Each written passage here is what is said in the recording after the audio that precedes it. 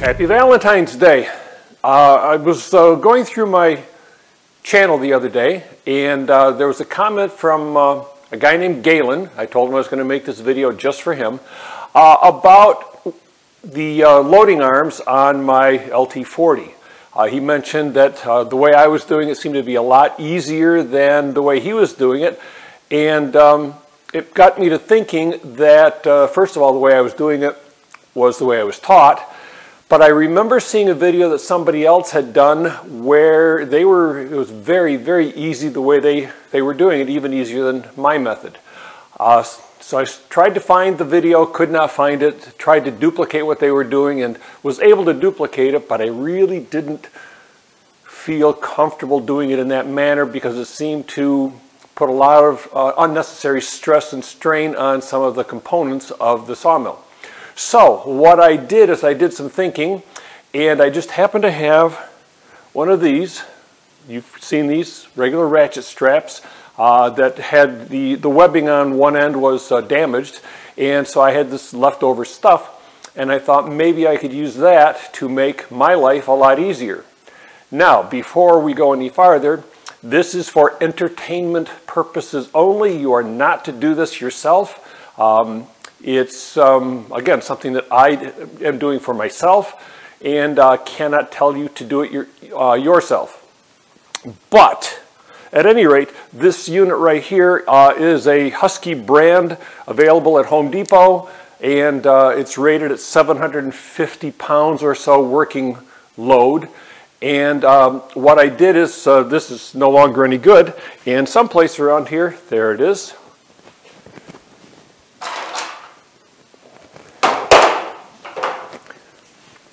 This here is the broken end that I had. And what I did was I cut it to seven feet in length, fold it over one end, where there we go, fold it over one end, just tied a simple knot in it, and here's my tool. So let's see how this thing works, how I use it, because you're not going to be doing this yourself because it's dangerous. So kids don't try this at home without adult supervision. And again, this is only for entertainment purposes. So here's how it works. So I've got the mill just sitting in my shop right now. Uh, unfortunately, it's been sitting here for a very, very long time. What with the snow and cold and everything else, I haven't been able to run it like I want to do. So I'm kind of stuck with uh, doing anything I can so that I can play with it. Oh, I'm sorry, I shouldn't say the word play, because uh, if the big boss hears about this, uh, it's supposed to be something I work with, not play with.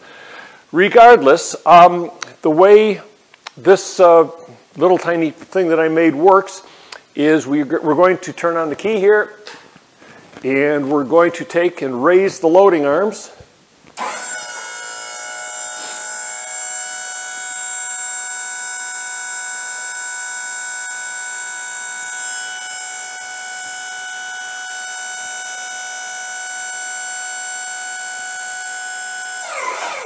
Then I'm going to raise the clamp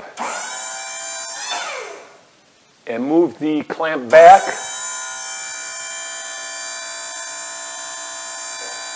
So far, easy peasy.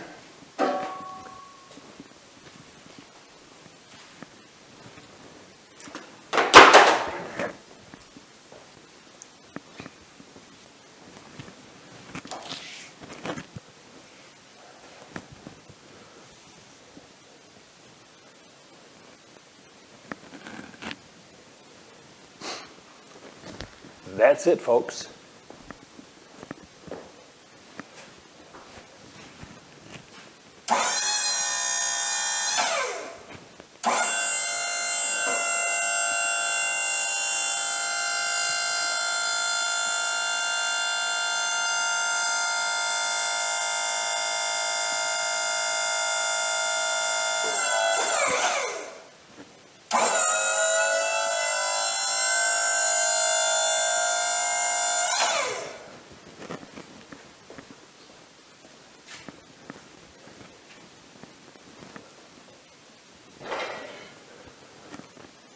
That's it.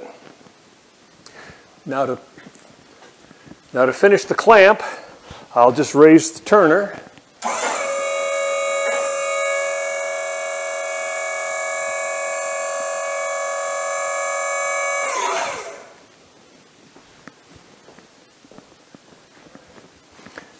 Then we take our hold down chain, just like that. We interrupt this program for the following announcement. This is not a test. Please pay attention. I did some thinking yesterday after reviewing the video and using the, the hook that we have here and the loop works great as far as the tensile strength. The problem is if things aren't perfectly kept tight, it could pull apart and you might have an issue with your loading arms falling down. So what I did this morning is something a little bit different and I'll go get the other prop here.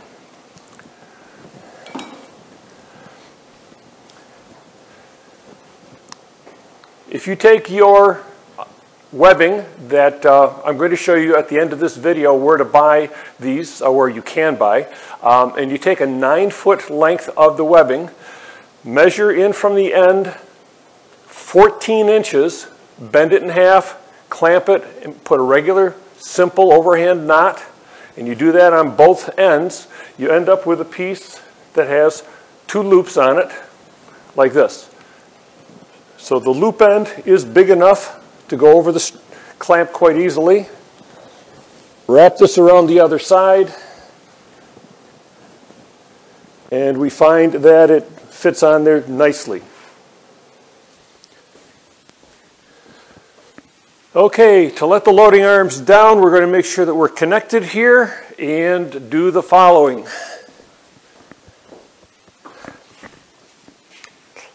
I'm going to raise the loading arms.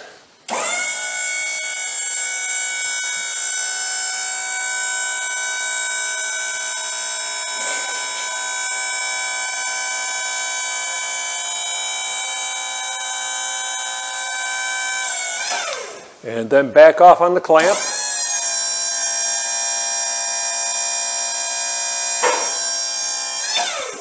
And we're finished.